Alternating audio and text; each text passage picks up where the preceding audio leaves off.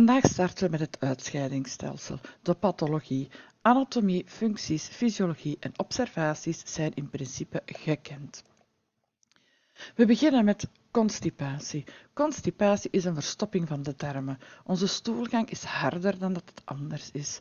Wat zijn de oorzaken hiervan?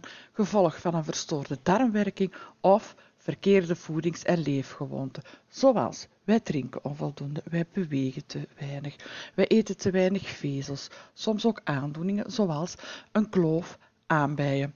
De symptomen daarvan, we gaan minder naar het toilet, onze stoelgang is veel harder, het doet ook pijn als we moeten uh, ontlasten en het volume is vaak kleiner.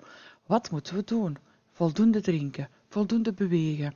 Als we de aandrang hebben om ontlasting te maken, negeer deze niet. Ga naar het toilet en kou goed uw eten. Urineretentie is een ophoping van urine in de blaas, omdat men niet meer kan plassen. Dit kan zowel acuut als chronisch zijn. Acuut wil zeggen dat dit plotseling optreedt, dus plotseling kunnen wij niet meer plassen. Chronisch wil zeggen, dit komt langzaam. De blaas wordt niet genoeg geledigd, waardoor het de achtergebleven urine steeds vermeerdert. Dit is minder pijnlijk omdat de vulling langzaam gaat ten opzichte van acuut. Wat zijn de oorzaken daarvan? Bij mannen hebben we vaak last van de prostaat, oftewel is het een vergroting, oftewel een absces. Een vernauwing van de blaasuitgang kan ook, of een zenuwbeschadiging, waardoor het de spierkracht van de blaaswand vermindert. Bij vrouwen praten we heel vaak over een verzakking van blaas, baarmoeder, eventueel het rectum, afwijkingen aan de plasbuis, operaties door urineverlies. De operaties die vrouwen laten doen is meestal na de bevalling, omdat de meeste vrouwen last hebben van urineverlies na een bevalling. Soms praten we ook over tumoren in het kleine bekken. De symptomen bij acute urineretentie zijn buikpijn en pijnlijke aandrang om te urineren, maar het lukt niet meer. Bij chronisch kunnen we nog wel plassen, maar het komt moeilijk op gang. En als we plassen, zien we dat het een slappe urinestraal, is en we eindigen op druppelen of we druppelen gewoon een beetje. Onze buik is op opgezet. Wat moeten we hierbij doen? We moeten ervoor zorgen dat de urine weg kan. Dit kan op twee manieren. Meestal wordt er een katheter geplaatst in de plasbuis. Dit is een verpleegkundige handeling omdat dit steriel moet gebeuren. In sommige gevallen gaan we ook een suprapubis zonde plaatsen. Dit wordt gedaan door een arts. Dit wil zeggen dat men een zonde plaatst via de buikwand rechtstreeks in de blaas. Als zorgkundige is het heel belangrijk om goed te observeren en te rapporteren. Nu gaan we over naar anurie en oligurie. Anurie wil zeggen dat we minder dan 50 mm urine op 24 uur produceren. Oligurie is minder dan 500 ml urine per 24 uur. Wat zijn de oorzaken daarvan? Uitdroging, psychosomatische oorzaken zoals depressie, bepaalde medicatie zoals chemotherapie, zenuwaandoeningen, een vergrote prostaat bij de mannen, of een storing van de sluitspier van de blaas door verkleving, door tumoren. De symptomen. Omdat wij weinig urine produceren, wil dat ook zeggen dat de urine geconcentreerder is. Geconcentreerde urine ziet eruit met een donkere kleur, scherpe geur. Wat merken we nog? Dat de luiers droger blijven, dat we weinig toilet gebruiken, buikpijn, buikpijn en koorts kunnen optreden, bloed in de urine, soms ook een branderig gevoel of pijn bij het plassen tachycardie. Wat moeten we doen? Navragen en opzoeken wat de oorzaak hiervan kan zijn. Laat de zorgvrager veel drinken, minimum onder halve liter per dag. Goed observeren en rapporteren is de boodschap. Een koliek. Een koliek zijn krampen van het gladde spierweefsel van de wand van de holle organen. Heel vaak duidt dit op stenen, nierstenen, galstenen. Kolieken komen in aanvallen. Ze komen plotseling, treden ze op, zijn heel hevig en hebben dan weer weg omdat de spieren oververmoeid zijn, maar keren sowieso terug. Wat zijn de oorzaken daarvan? Heel vaak dus een afsluiting van een orgaan door een steen, nierstenen, blaasstenen, galstenen, leverstenen, stenen, soms ook kanker of gasophoping. De symptomen heel veel pijn. De zorgvrager kan meestal niet blijven liggen of zitten. Soms kruipen ze op handen en voeten rond van de pijn. Soms treedt ook misselijkheid en braken op en in sommige gevallen kan het zo erg zijn dat de zorgvrager flauw valt van de pijn. Wat kunnen we hieraan doen? De stenen moeten we laten vergruizen. Als het kleinere stenen zijn, kunnen we vaak door toediening van medicatie verwijderd, laten verwijderen. Als dit niet lukt, gaat het sowieso operatief moeten gebeuren. Incontinentie. Incontinentie is eigenlijk dat je geen controle meer hebt over de sluitspier, waardoor er urine- of stoelgaanverlies is, wat men niet wilt. We hebben verschillende oorzaken. Stress- of inspanningsincontinentie. Dit wil zeggen dat de bekkenbodemspieren veel te zwak zijn. Urineverlies bij druk, hoesten, niezen. Dit zien we heel vaak bij vrouwen, zeker na een zwangerschap. Drangincontinentie of prikkelblaas is te gevolge van infectie of overgevoelige blaas. Overloop of druppelincontinentie door een vergrote prostaat. Reflex of neurologische incontinentie. Dit wil zeggen dat er een fout is in de zenuwbegeleiding. De prikkelbegeleiding naar onze hersenen verloopt niet goed meer, waardoor onze sluitspier niet meer beïnvloedbaar is. Functionele incontinentie. Dit heeft te maken met mobiliteitsproblemen. De zorgvrager kan niet tijdig het toilet bereiken. En ontlastingsincontinentie heeft te maken met een gebrek aan controle van de sluitspier. Incontinentie kan ook het gevolg zijn van medicatie of langdurig het gebruik van een blaaszonde.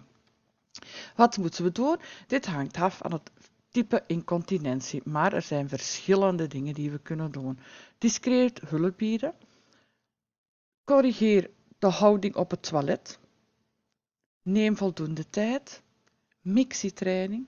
Zorg voor een goede lichaamshygiëne en een goede wastechniek is heel belangrijk. Eventueel het incontinentiemateriaal aanpassen naar luiers, condoomkatheters, blaaszonden. Wisselhouding geven bij bedlegerige mensen en kijk sowieso de medicatie na. Chronische niereninsufficiëntie. Dit wil zeggen dat de nieren onvoldoende werken, waardoor afvalstoffen in het bloed blijven zitten en niet uitgescheiden geraken. Wat zijn de oorzaken? We hebben verschillende oorzaken, maar de voornaamste oorzaken zijn diabetes en hypertensie. De symptomen van chronische nierinsufficiëntie zien we dat er weinig tot geen urineproductie is, dat de zorgvrager misselijk is, vaak moet braken, ze gaan vermageren, hebben udeemvorming in de onderste ledematen, hoofdpijn, hoge bloeddruk, soms verward en suf, droge huid die heel vaak jeukt. Wat moeten we doen? We gaan de verantwoordelijke of de arts verwittigen als er zo goed als geen uh, urineproductie is. Vochtbalans gaan we opvolgen, observeren, rapporteren en sowieso toezicht houden bij het dieet. Heel vaak moeten mensen die een chronische nierinsufficiëntie hebben aan de nierdialyse. De nierdialyse is eigenlijk dat ze het lichaam gaan zuiveren van alle afbraakproducten, het teveel aan zouten, mineralen, eiwitten in het bloed. En dit gebeurt via het bloed of het buikvlees. Dan hebben we prostaathypertrofie of vergrote prostaat. Is dus een vergroting van de prostaat. Dit kan goedaardig of kwaadaardig zijn. Oorzaken is een opeenhoping van cellen ter hoogte van de prostaat. Symptomen zijn langdurig plassen, minder krachtige straal, vaker plasgedrag en nadruppelen en we kunnen de blaas niet volledig ledigen. Acties gewoon de verantwoordelijke of de arts raadplegen. Blaasontsteking. Een blaasontsteking is een irritatie of een infectie van het blaasslijmvlies. Heel vaak de oorzaak is een blaassteen. Hier hebben meer vrouwen last van dan mannen. Wat zijn de oorzaken? Micro-organismen geraken in de blaas. Vaak is dat de E. coli-bacteriën die in de darm zitten en doordat wij een verkeerde wastechniek hebben of verkeerd uh, afwegen naar het toiletbezoek, kan die bacterie, dus de E. coli-bacil, in de uretra geraken. De uretra van de vrouw is 4 centimeter, terwijl die van de man 12. Daarvoor hebben vrouwen meer last dan mannen. Wij kunnen onvolledig onze blaas ledigen, onvoldoende drinken of een langdurige blaaszonde is ook nog een mogelijke oorzaak hiervan.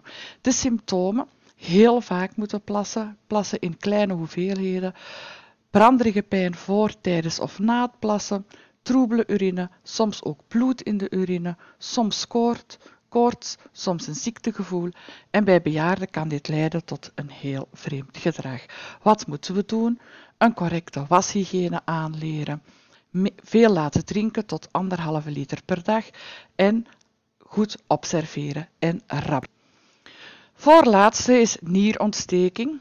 Bij nierontsteking zien we dat er een ontsteking is van de filters van de nieren. Mogelijke oorzaken zijn micro-organismen die via de blaas opstijgen naar de nieren. Symptomen: bloederige urine, heel troebele urine, sowieso hoge koorts boven de 39 graden, algemeen ziekte- en zwaktegevoel en wij voelen pijn in onze onderrug en onze bekken. Wat moeten we doen?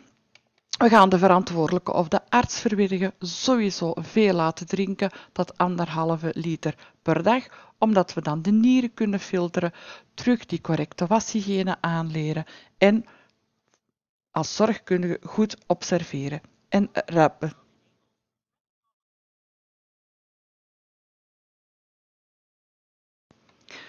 Als laatste hebben we dan de nierstenen. Nierstenen is een ophoping van kalk en andere stoffen in het nierbekken. Deze kunnen groot of klein zijn. De oorzaken zijn of te weinig vocht in ons lichaam door te weinig te drinken, te veel te zweten, of de samenstelling van ons bloed is niet in orde, te veel zouten of zo. De symptomen als wij grote stenen hebben, hebben we vaak lage rugpijn. Bij kleine stenen die vastzitten in de ureter, krijgen we terug die hevige koliekachtige pijn in rug- en liesstreek. We gaan sowieso misselijk zijn en braken. Uh, zit de kleine steen vast, gaan we sowieso um, bloederige urine hebben en een blaasontsteking kan ook nog optreden. Wat moeten we doen? De verantwoordelijke of de arts verwittigen veel laten drinken tot anderhalve liter per dag, maar geen bruiswater of zo, want daar zitten te veel zouten in. Geen zuivelproducten, omdat zuivelproducten zit calcium in en calcium is ook een oorzaak van stenen. En voldoende observeren en rapporteren.